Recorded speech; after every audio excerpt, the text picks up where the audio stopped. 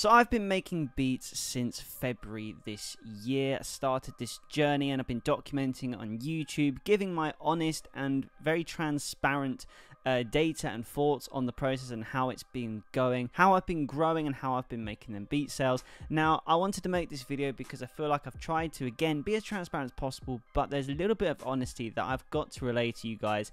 Uh, sort of a bit of reality in selling beats and how long this process actually takes, not only to get going, but what you actually can expect if you're someone who's just started or getting into and wondering how long it actually takes to grow this as a business. Because as I always say in the videos, this is a business that you're doing in beat selling. So I just want to go through sort of the experience that I've had, what I've learned again, but more just tell you the honest truths um, and reality of it and not try and sugarcoat this video for you. Because if you can watch this video and still be motivated to sell beats in the day, then you have that right mentality to sell beats and you're going to do well for yourself. As someone who's been making videos since February and uploading since February, February, I've uploaded uh, over 120 beats. I've been using BeatStars. For those of you who follow this channel will know that. BeatStars, I do think, is the best platform still to sell beats on. It's very easy. I now have a website and a beat store myself to gather data, collect email addresses so I can do my marketing as well uh, which again is a topic for another day. If we're going to strip about a lot more, there's nothing wrong with having a beat channel because then uh, you have it there. If you use BeatStars, you don't have to create your own websites. But yeah, BeatStars is the way to go. Now, again, to dive right into the honest truths of selling beats online, let's first start with the reality of how quickly it's going to pick up for you, and that is not very quick. You have to be ready to put in the work, get um, a lot of beats up, and not make any sales. Sometimes is the way that it goes. Again, as I said, I've uploaded over 120 beats and I didn't make my first sale of a beat till a couple months in and that's reality of it. In the six months that I have been selling beats I have sold 30 different types of beats, some of them multiple times and things have really started to pick up towards tail end this year mainly because of certain things that I'm doing um, other than just uploading beats but I'm telling you now if your plan is to sell beats by just uploading and hoping for the best unfortunately it's not going to work out for you unless you're going to be uploading 900 beats in one year where at that point you've got to think that it will become a numbers game and you would then you sell beats, then go for it. But honestly, it's not worth your time. It's more effort that you need to put in. Because remember, we all have other things that we're doing in our life, and it takes time and energy. And you don't want to use up all your energy just trying to get beats up, because not only is that going to affect the performance of your beats and how they sound, but it's also just going to tire you out mentally, which is again going to really uh, take a hit on the motivation to actually do this. The reality of it is you want to really pace yourself and upload beats at a rate which is comfortable to you and you can still produce work that you're proud of and that's good. Not every beat you upload has to be good, uh, like amazing. You can upload bad beats. I've got so many beats I've uploaded that are bad, but again, it's just like building a catalog and but doing it at your own pace. And again, 120 beats and there's still a lot more that I could do. There's a lot more to upload and if you think 120 beats is a lot, then you've got to be ready to put the work in because you're going to have to upload a lot of beats if you want to make beat sales. Which brings me on to the next point, and that is the YouTube Type Beat channel. Now, I've got my YouTube Type Beat up channel here, which I'm just going to flip across to now. I've been growing this since start of February. I've only got 165 subscribers. You may see that as a lot. You may not see that as a lot. The the thing with the YouTube Type channel is is another way of advertising your beats, and it's a free way of advertising your beats as well. Obviously, if you want to make money using the YouTube channel, you want to get monetized, but that takes 1,000 subscribers and 4,000 hours watch time, and that takes a long time to do.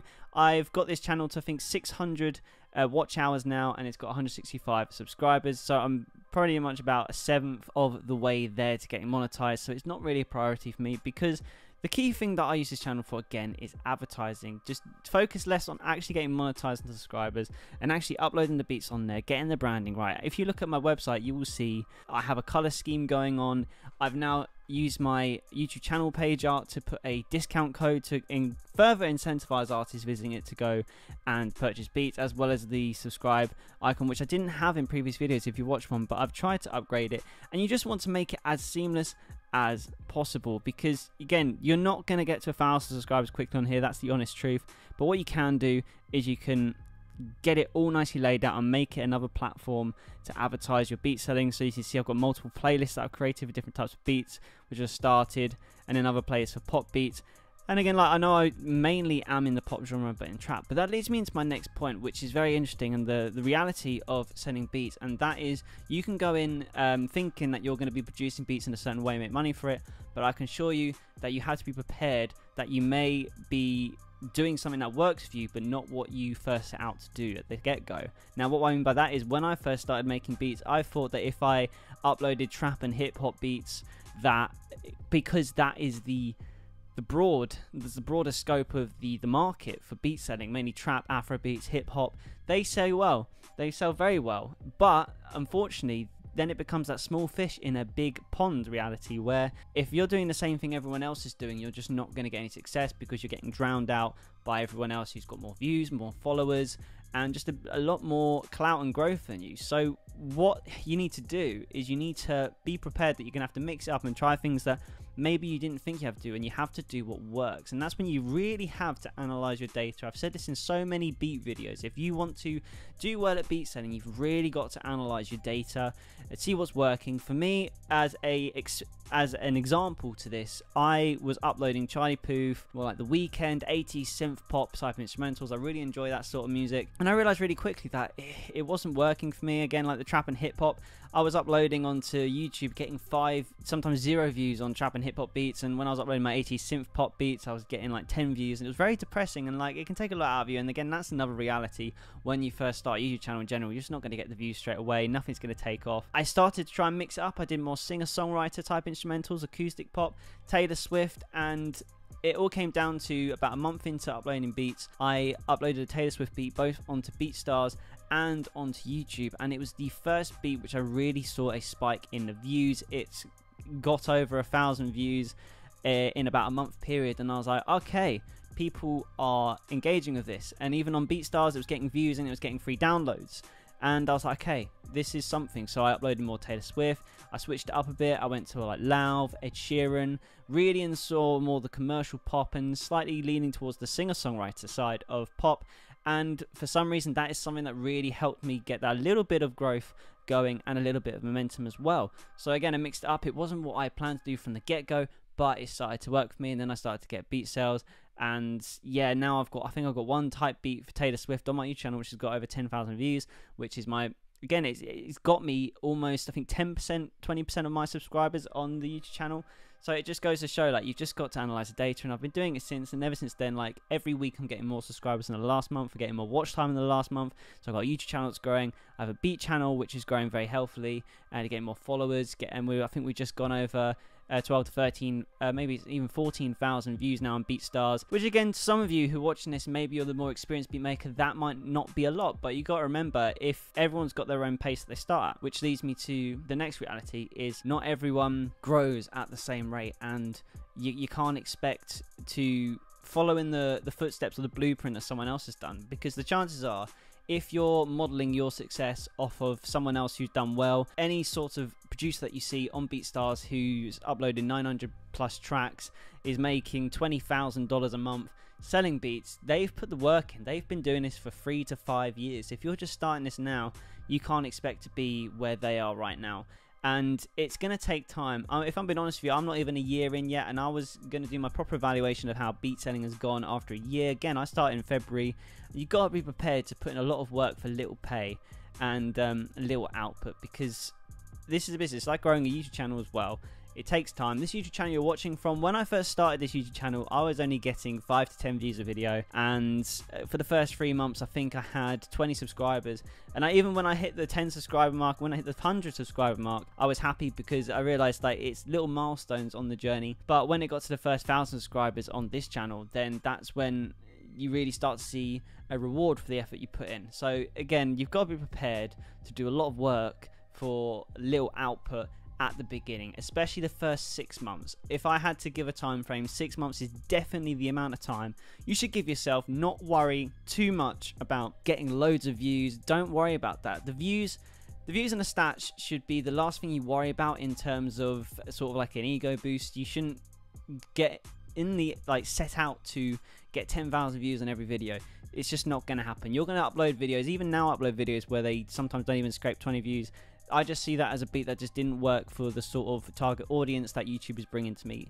So again, listen to the data, but don't get too stressed about not getting the big numbers because that will come in time. You've got to give it six months, as I said, and that is um, one of the harsh realities of beat making, which I feel like even though you get YouTube videos out there which advertise to you, oh, how to grow quickly, how to you you know how to make more beat how to how to make a, a grand a month in beat sales like you know there are certain ways you can do that you can you could message a thousand musicians on instagram and you would probably get a couple of sales by doing that. But you got to ask yourself the question how long that's actually going to take you to do that? Um, and is it is it going to be worth the time and effort you put in? Because you're going to be spending every day and every night doing messages especially as instagram will probably block you. And it's just tedious and you and there's also you won't enjoy it because you've got to enjoy this process. If you don't enjoy this process you're going to lack the motivation. You've just got to be patient with this. And i promise you if you're patient you do everything right then you will reap the rewards in time. Which leads me to the last point on the reality. And again, beat making and selling beats. You've got to treat this as a business. You've got to have your marketing on point. SoundCloud as well, Audiomack, Instagram accounts are still good, even TikTok. If you're using all of these and just uploading the content on there, then that is another way that you're advertising your beat, which maximizes the chance of getting sales. I've had sales based off the fact of uploading something on SoundCloud before on BeatStars and especially on YouTube, I've had quite a lot, especially since I've started applying discount codes through BeatStars. There's been a lot more beats uh, sales coming in through the YouTube channel. So again, all of these are worth it, but you've got to get your marketing point. And in summary, you've, you've got to have obviously your beat store, but you've got to be advertising it, treating it as a business, and you've got to be, you know, driving themselves the ways. And I have done some videos on how you can get more beat sales as well using them sort of strategies, which I will leave a link below to, and there's also a playlist on my channel if you want to watch more of them videos. But I hope you found this helpful, and yes, like I tried to talk through sort of some of the reality of setting beats, but at the same time, it's not a dark and dismal thought. It's a very fun process, and if you enjoy making music, then just focus on that, especially in the early stages. Don't pressure yourself to get certain objectives done in a certain time which are unrealistic. Set yourself little goals. If you're a new YouTube channel, zero subscribers, set yourself a target to get 10 subscribers by the end of the month and maybe upload 15 to 20 beats if you can do it. But again, just do everything at the pace which is comfortable to you and at the same time push yourself but not too much. But if you really want this, I'm sure you'll get it and you've got the motivation to do it. And if you made it this far in the video, hit that subscribe button because I upload weekly videos talking about beat selling and how you can get more beat sales and also grow YouTube Typebeat channel as well as market your music. Thank you for watching this video guys. Yeah, keep making music and I'll see you in the next video.